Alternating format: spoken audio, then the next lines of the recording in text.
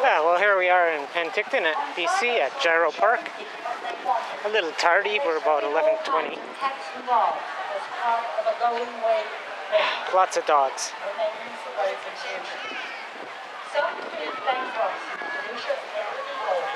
Well, let's go march on Monsanto. Lots of people showed up, considering it was only listed It also meant Monsanto the less than 24 hours So ago. what you did the liability of Monsanto, because Monsanto Um, no bus services in works well, you out can the think there is, situation but in a reasonably healthy financial situation with the other company doing it. Quite a clever ploy, if you like. The key, the key to Monsanto's oh, sorry. You want to see? Actors making friends. Okay. Here it comes. Wanna get a better shot of the stage here, Beth? Process of the herbicide Roundup. A few years, in 1976 Roundup was being marketed in 115 countries. It soon became the single most important product of Monsanto's agricultural which contributed about 20% of sales, around 45% of operating income to the company's balance sheet. By 1990, with the help of Here, Bear, over here. the agriculture division of Monsanto was Just uh, get your sign there, you don't mind? Oh no, go ahead. Thank you. And the gap was increased. So they did the usual thing. They sold off regular chemical components and concentrated on the agricultural chemical component. And interestingly enough, they seem to say, we've got rid of the chemical component. Now we're just dealing agriculture without actually saying, and most of that money is coming from agricultural chemicals. So we're still a chemical. certainly like to take my time more. Biotechnology is increasingly seen not just as a medical complement uh, tech- tech- uh, chemical technology, but as a way of enabling it to further expand into agriculture and secure its cash cow. Monsanto sold its plastics and other operations and concentrated on this cash cow. By 2000, the current Monsanto had emerged from various Well, I forgot the tripod back in. Pharmacia, as a legally different corporation from the Monsanto that had existed from 1901 to 2000. This was despite the fact that both Monsantos shared not just the same name, but the same corporate headquarters near St. Louis, Missouri, and many of the same executives and other employees, not to mention much responsibility for liabilities arising out of its former activities. As Monsanto had moved into biotechnology, Well, there's got to be 375 people right in the park area. They began to And there's right on the edge of a farmer's market there on Main Street. would contribute to feeding a So there's. Hundreds and hundreds of people there. Good call. head of the Plant Molecular Biology Research Team, is also Oh, wide spectrum of people, too. the potential of GM crops I mean, within the company considering as a once in we don't have that opportunity for Monsanto a wide bearing demo- age demographic in the south of Okanagan. The more down to earth pitch the You know, like 70% are, uh, over 56 engineering of the years. Old. Young. of preserving the Old. commercial life of Young, well, depends how you want to look at that. Glass half empty or half full. Roundup in the face of challenges Mons, uh, Monsanto would face once the patent expired, which was coming up soon. Monsanto eventually achieved this by introducing She's giving you the short jib on the Monsanto, well, the entire gene patent. This allowed Monsanto Scam. to expand the market for Roundup and more importantly, help Monsanto, uh, to negotiate I don't know if she's gonna touch on the, uh, phosphate patents Ma- on which matrix of life slice of the aspect. income depended. Which is, you know, immeasurable by mere dry math. Monsanto was able to preserve its dominant share of the glyphosate How do you replace my Earth's through a life matrix? Or any planets?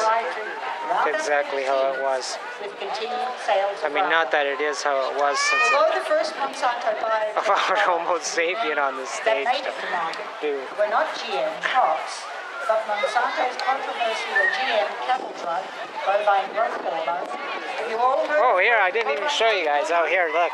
I, I whipped up his shirt at the last minute there. The uh, felt markers were kind of dry, but we'll, give you a look. Hopefully you can still hear what's on the stage. a. There you go. They've done their best to pollute some of it too. We need water. We need those on a very predictable basis. Hey, peace out. Live long and prosper. I'll let you hear her do her thing. literally controls the world. And that is their end.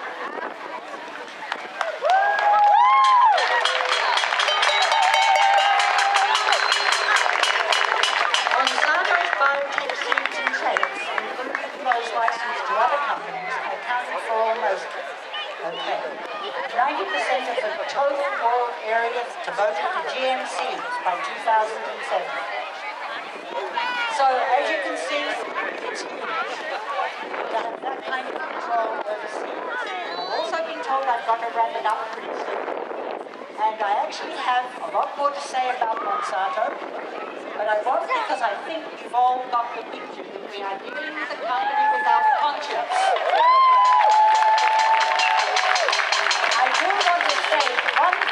About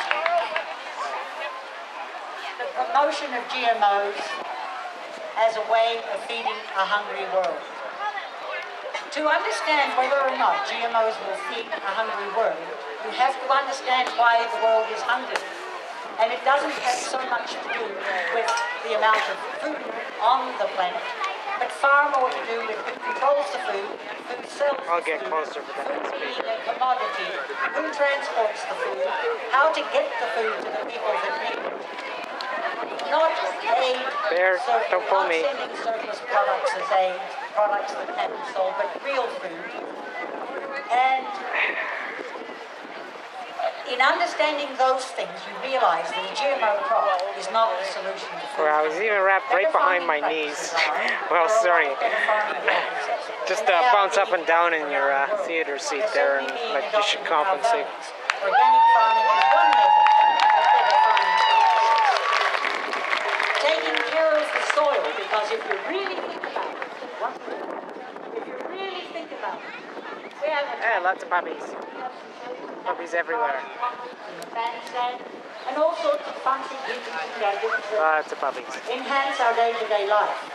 But when it comes right down to it, we have one true asset, and that is the ground. Actually had an argument there the other The day, actual so ground that we're standing on. seems cool though. From it comes everything that we get. Now, I was supposed to say a few words on GMOs. Do you want me to or not? Hey? What we could follow up with Lee if we can get her back in when we have our movie night. W- we apologize. It, it, it's tough. Like uh, Leah's been speaking out on GMOs for a long time, and she's been an organic farmer since 1962. So she's very passionate, and she wants to get the message out to you guys. So thanks for your patience. Thank you so much, Lee.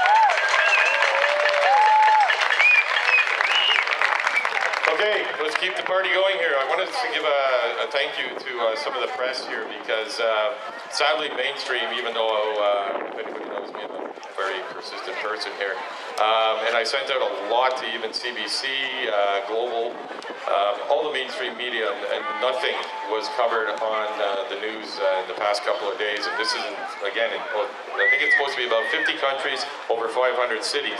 But I do want to thank uh, James Miller from the uh, Penticton Herald. He has been plugging it for us. Thank you, James. I think he's somewhere here. and uh, as well, uh, Dennis Walker from uh, So Country, uh, which is really, oh, there's James. Yes, Dennis Walker is back on the air, which is nice to hear. Uh, again, that's a part of corporatization. Again, how uh, Dennis and the boys lost their uh, there. But we're going to talk about that stuff at the uh, at the end when we get into the solutions part. So what we're going to do is, we'll, when we do get to that part, we're going to break it up and finish it up over there at the, Ni- Square there when we're standing in front of Dan Albas's office. And just one more quick thank you. Uh, I actually, uh, I, I don't know how many people are familiar with uh, Heidi Osterman and the True Food Foundation. Okay, so she is an incredible lady. She's a certified nutritionist who, for the past three, four years since I've known her, has been uh, raising awareness to, to genetically modified foods here in our Okanagan. And she's probably, she hates when I do this, but she's probably dropped about twenty to thirty thousand dollars out of her pocket to do this for us. And uh, sadly, but in a good way, she's not here today, but I got her to give me a quote to tell you guys because um, she's actually in uh, Berlin, Germany right now addressing crowds on Monsanto. Um, the rally is in front of the Chancellor Angela Merkel parliamentary address. Heidi is telling Germany about the Canadian experience with GMOs and the warning and warning them that they must not feel with the label and and are lucky that their government has protected them so far, contrary to Canada. But they don't go Heidi will also be telling them about Monsanto Protection Act and Michael Taylor's role in the U.S. A policy. few private providers are She is warning Europeans that Canada is considering the So approval essential. of the GMO alfalfa, uh, hay that animals eat, and uh, that will be beginning. It'll be the beginning to the end of organic meat and dairy industry. have Other points of discussion are the results of uh, Sarah study, that's uh, the world's only long-term feeding study. Monsanto fed rats GMO corn for three months, and Health Canada approved it. The French scientists took the same type of rats and fed the same GMO corn for two years, and the results were shocking. Liver and kidney damage and widespread tumors. Although no Monsanto products, uh, Heidi will be uh, sharing information about specifically to uh, fruits non-browning, the Art, uh, Arctic apple, the Aqua Bounty hormone-producing salmon as further threats to our food supply. Everyone has a role uh, by sending a letter to the editor, the politicians, and their staff to pay close attention to the letters as the uh, as the pulse of the public. It doesn't have to be a great letter, and it doesn't have to be long. The editor of many letters um, coming about uh, one subject. Your letter is registered even if it is not printed. Please be respectful.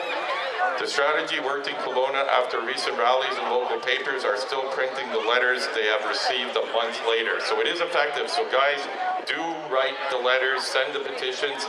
More importantly though, more, I mean, a lot of us uh, that are on uh, Facebook and the social media, we call a lot of the people click the disc. You know, they press like and share and they sign a petition. But we have to get out in the public like we are here. So again, I'm so happy to see this is the best turnout I've ever seen. This is fantastic.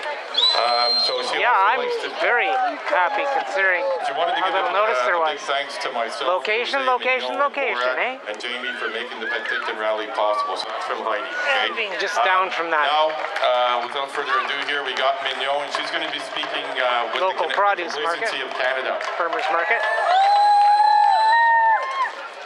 Good morning, everybody, and welcome. just set it up in It's, the uh, When I was uh, working with the crowd to get this uh, going, they said, oh, well, you know, if you get 50 people here, we'll be lucky. So I am so inspired by the turnout here, so thank you so much.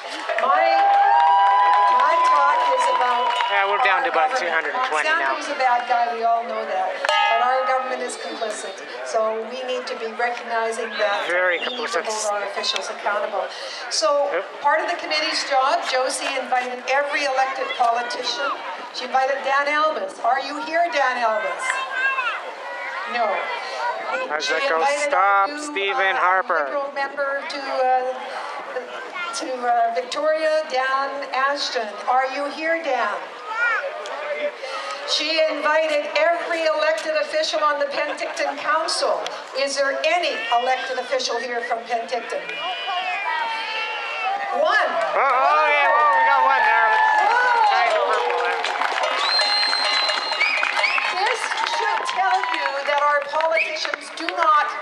to address this issue, that they are not interested in what we have get to say. the one And that is very disturbing because this is not just our lives, but our children's lives, our grandchildren's lives, our Ah, great great grandchildren's lives, and it is probably the most important issue facing this planet right now.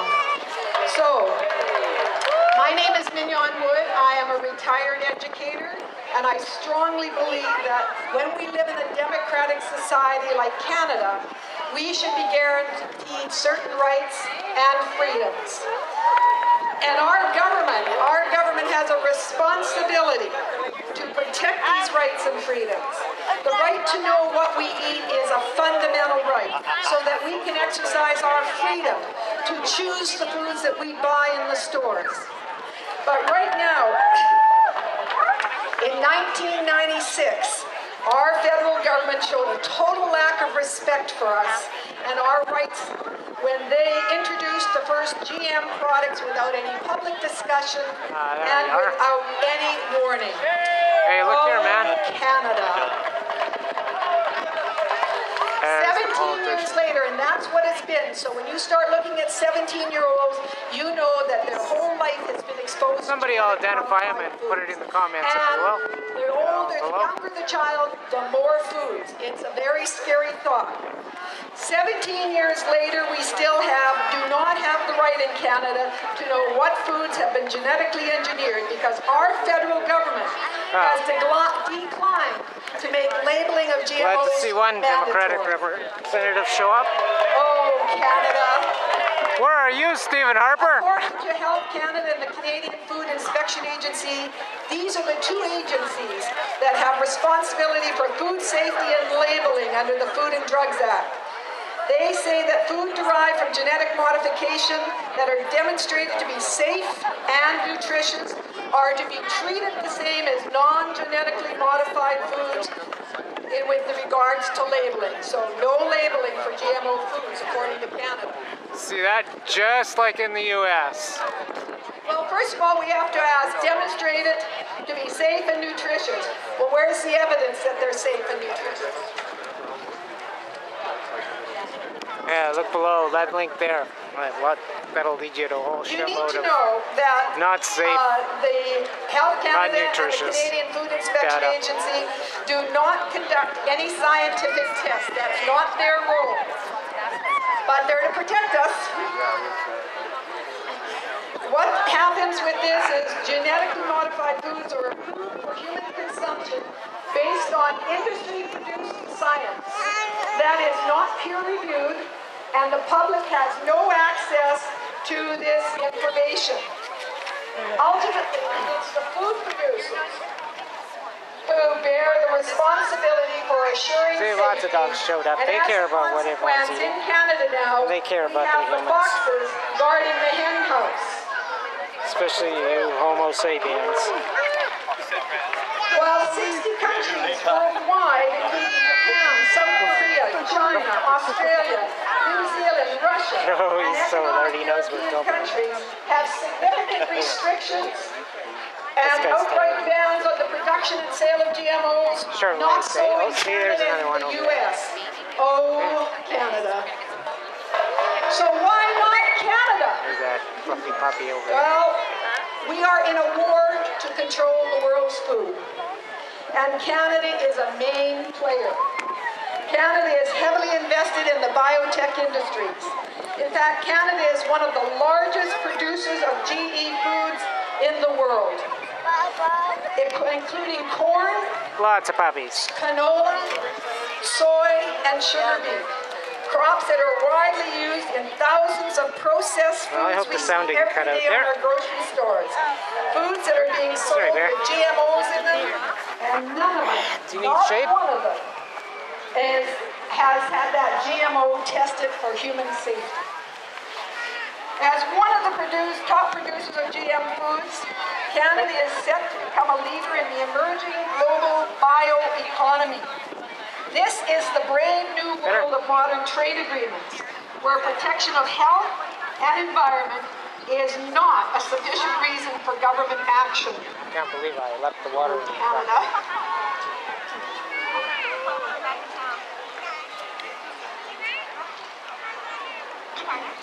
But you know, I kind of need to stand in the sun. It's not considered a valid So maybe we could just move this way a little? International arena.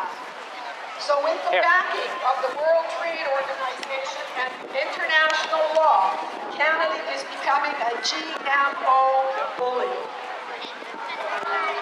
During the past year, Canada has been issuing ultimatums to European... Oh, there's another one. That they have to ease their restrictions on marketing and sales of GM food and seeds. Oh, yeah, we met you on the way in. of Europe's I'm a little overwhelmed. the goal is to open the European market to I wasn't the quite Canadian prepared for this, so I had to rush this morning. In particular, genetically modified canola oil. because I didn't know we were Now, having for a us, the Canadian government. And I didn't want to drive all the way to Kelowna. Kelowna. One tenth of a percent doesn't sound like much, but it's a lot. Rear Uh, axle's a bit for our leaky, food to be haven't topped it contaminated with genetically modified foods that have not been endorsed by Health Canada. The federal government calls this low-level presence, LLP, and argues that this low level of contamination from unapproved GM foods is not harmful. It opens a back door for more GM foods from other countries coming into our food supply. So tell us that GMOs are not harmful. Tell the rats from that French study that Heidi mentioned. Or tell the rats from the Russian, or the hamsters from the Russian study, which was the only long-term study. And it involved genetically modified soy being fed to hamsters for over a period of two years, and it resulted And Penticton's probably What about, found uh, at the end of the third generation was that 14,000 these people with the surrounds right now. were suffering from sterility, they were suffering from infant mortality, Going up to and some of those poor 2,000, unfortunate 20,000. had hair growing in their mouths. That's what genetics will do when we mess with it. So what about us?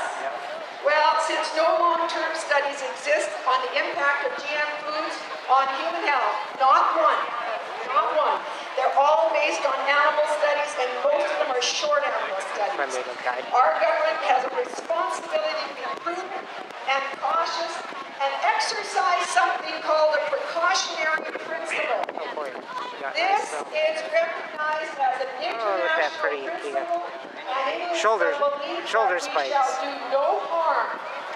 And if there is the slightest chance, the slightest chance at all, that we could be harming the public's health or the environment, then the burden Oh. of proof falls on those who are creating the technology and they Lots need and to lots of prove dogs. that their product is not harmful. That's what we need to demand. Dogs know that GMO sucks. Poison. Unfortunately, at Phew. this time, the precautionary principle is not something that is happening in Canada, and since the agribusiness oh, there. seem to have the ear Oh, of our boy, is he ever pretty, Nikita. it's up to us. Tiny, but The citizens of it's just a Canada must demand that the multinational chemical giants like Monsanto, Syngenta, Monsanto's American Nikita company, poodle. is a, a Swiss country, Dow Chemical is a, an American company, DuPont, BASF is German, and Bayer is German. These are international multinational countries. And our Canadian government held accountable for the decisions they are making that in the Uh, long term may have serious consequences for humanity, for other animal species, and for our environment. Nothing like happy puppies. Has said, quote, we are performing a massive experiment. The results Oh, that's okay. I got the camera on my face now. People have been exposed to these foods for decades.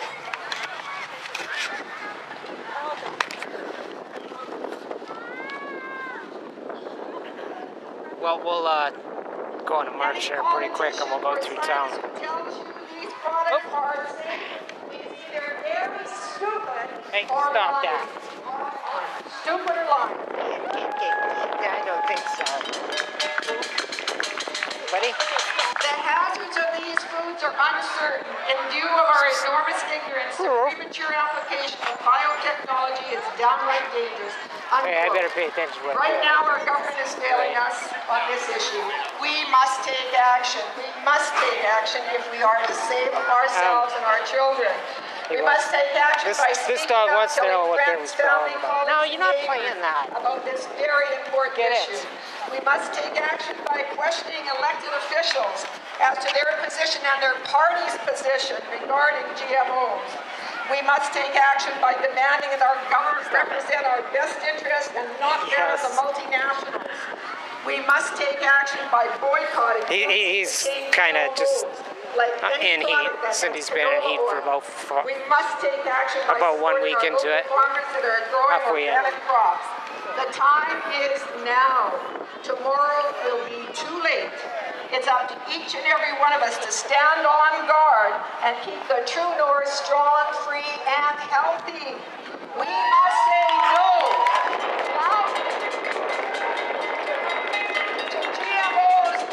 then maybe Ottawa will listen to us. Thank you. Just say no to GMO. Just a quick mention there because uh, Mignon pointed out that all the uh, politicians were invited. Um, just to mention a couple that actually did show Hey, up and Bear, say something. very Well, just come on now. Uh, You sit in the shade, I'll sit in the sun, okay? And he actually brought the uh, motion forward twice here in the uh, RDOS to make it a GMO-free Okanagan. But- it but was voted cause down trouble. eight to four the first time. Keep, I won't keep the mention peace. names of the people that voted it down. We're just going to make try to make sure you don't do it again. Um, well, we got to give them one chance. You know. After that, you know what? Because I'm getting tired of this too. I don't know what these politicians can, they get in there for three years and they can do it. They can lie, cheat, steal all throughout their uh, three years or four years in their term, and it's okay. You know, I mean, go steal a chocolate bar from the store and see what happens. You know, but uh, so this this industry's Clear case here. You know of what? They got to be an imbalance accountable. of You're fired. You know, bye bye. Uh, so Doug Accountability here from over the, uh, authority. Party. Uh, he was the only one, uh, the, the only one of the parties there through the election, the elections that actually Oh, had oh, oh, stick uh, that on side the back up. platform Oh. to make it GMO free here. And just one last added note. Um, in regards to uh, checking for foods in canola, uh, just so because there's a lot of moms out here, and you need to know this, okay? There is no baby food in Canada that does not contain GMOs, okay? So that compromises Did you hear that, Mom? immune system from birth, okay? You, the common Mom. cold can kill your child, okay? So you got to source, and that's one thing. No you gotta do on the GMOs. What I'm trying to do is find out where good stuff was. There's a lot of little uh, mom and pops popping up making the uh, good organic baby food for your, uh, for you concerned moms there. Um, okay, so now we're going to introduce uh, some of the farmers here. Oh, look, some new Uh, dogs. We got uh, we got Gord Forbes. Patrick, you went out for a Uh, walk? I met uh, Gord probably about three years ago here, and they've had their farm here in the Okanagan, if I'm not mistaken, since 1974. Oh, Second another one. generation. Lots of dogs. David Suzuki and his family Yeah, actually dog park is actually just across here. the So water. He's very well aware, very well awake, and he Across the street. local farmers, ethical and organic. At the end of the end of Main Street, turnaround. This is, I.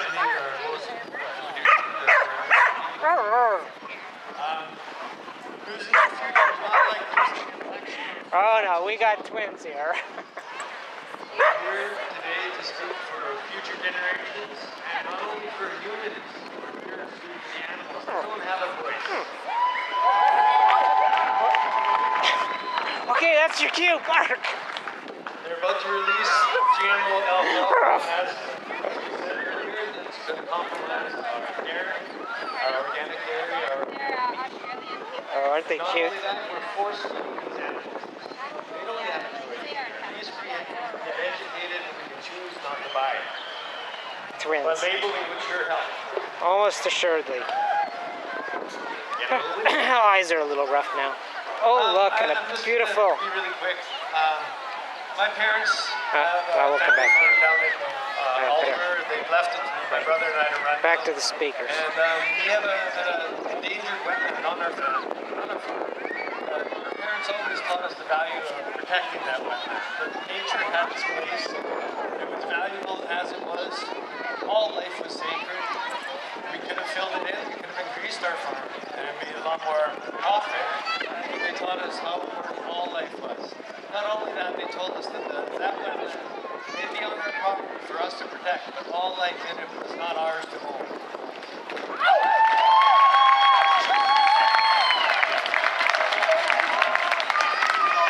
My father was a great farmer, well, is a great farmer and grower.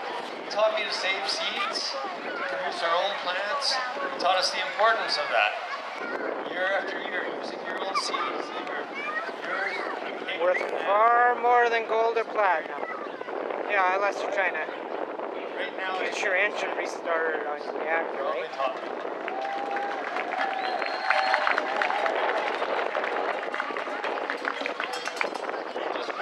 taught you all know that now. By now, huh? Roundup Ready, or, or Monsanto's Roundup, is found to be the most important story. development of Canadian seeds. And not is their Roundup producing. And about that company, they don't even serve their own food in their cafeteria. They don't eat their own food.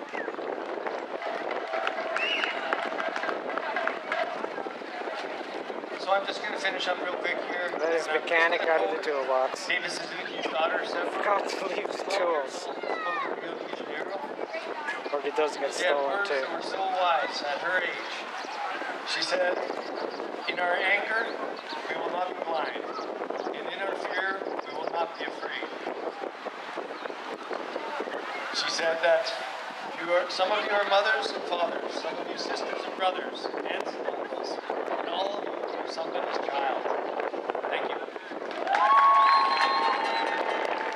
Thank you, Gordo. Uh, okay, so, uh, just so you know, Thomas uh, Tupon, uh, he's going around there, he's giving out uh, uh, leeks so you can take a leak on Monsanto.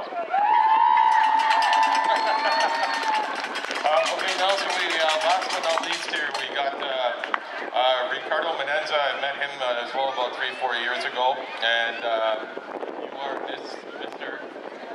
He's Mr. July in the Real Living with Real Food calendar there, so. Hello, everyone, and thanks for uh, one of the most important days in history. We're here today, and we're here for them, and we're here also for all the animals. Um, thanks for Kevin for letting me do this speech. And, uh, almost- Come on, Bear. I'm Ricardo, and my wife is Maria, and we have a stand over down in front of uh, the Bank of Montreal. Hopefully Uh, this we tree started will an block it. adventure five years ago. We started off with a heirloom seed business because we realized that we couldn't find any seeds that were properly grown or that you could grow off. And you know, we were buying them at uh, Home Depot, and we were just germinating them, collecting the seeds, and then afterwards, no more. Like the plants wouldn't.